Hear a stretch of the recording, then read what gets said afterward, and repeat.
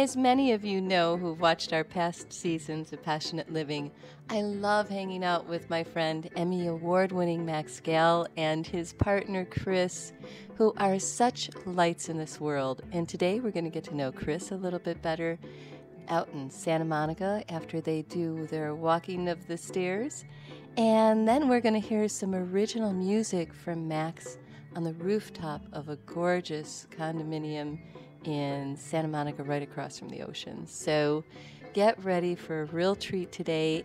And another reminder that this world is a very small place. When we interviewed Michael Boddicker, who is a Grammy Award winning composer, musician, uh, Michael told us that he's in a Monday morning writing group with Max Gail. It's a small, small world. So buckle up your seatbelts and get ready for an amazing visit with Max and Chris. We try to get here every day. Probably I get we get five times a week or six somewhere in there. Yeah, I mean it's a beautiful. We we joke about it as the good place. I don't know if you've seen the there's a you know Oh, one yeah, of The the, one of Good the Netflix Place, the yeah. good place. You know, yeah. it's just a beautiful, and uh, you know. I would be the one sneaking into heaven. This is about a like a little quarter higher dimension than the rest of the town. I, I love it Yeah. here. It's just such a magical place in Santa Monica. This, all of this area, but yeah, this all the way through to Malibu. Yeah, I'm having this memory of many years ago, and I agreed to babysit for three friends of mine to take an acid trip together. They wanted to go out to, to, to Westward Beach.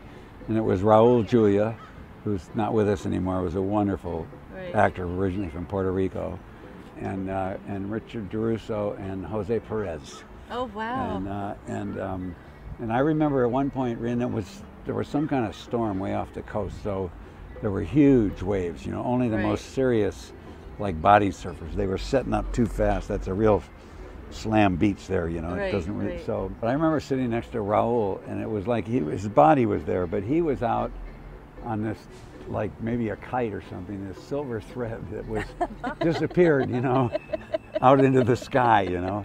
And I just thinking, I wonder if he's ever coming back. that was a some crazy way. time. It was a crazy time to be in California because that was that was was that the 70s? That was the 70s, right? Yeah, yeah. In the And I, you know, I've brought up drugs twice, but it, it would have been just as likely, you know, hang gliding or something like that. But, Right. but I think that that that balance, you know, uh, which most people that stay in uh, any kind of public eye business or any actually, but I mean have that that need need some kind of balance. Yeah, they need to be grounded somehow. Yeah, because then a lot of the other stuff can can get you floating. Cut Yeah, that, cut yeah. that and, string. and that being up there is silver fine too, you know. silver string with the That's kite. right. Yeah.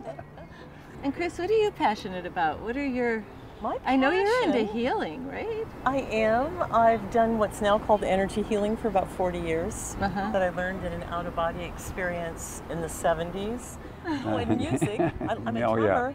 Oh, You you're a drummer, Yeah. so you Yeah. two have the She's same passion of Yeah. music. Oh Yeah. yeah, yeah. I, can't wait to play love with you guys. I want to What do you like just- play?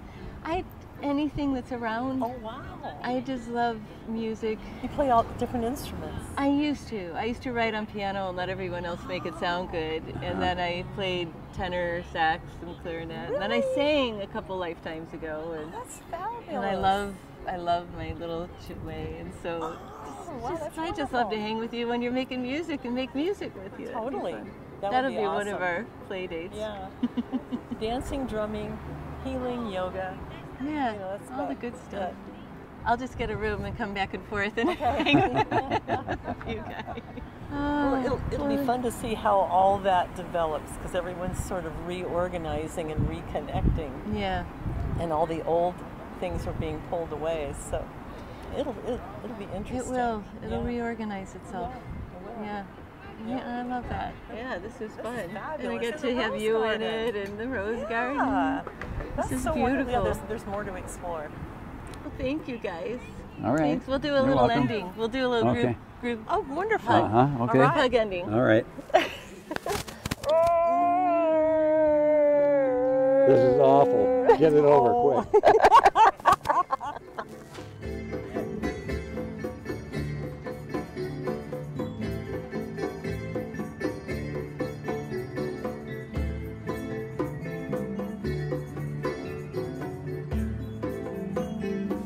Thank you so much for watching Passionate Living.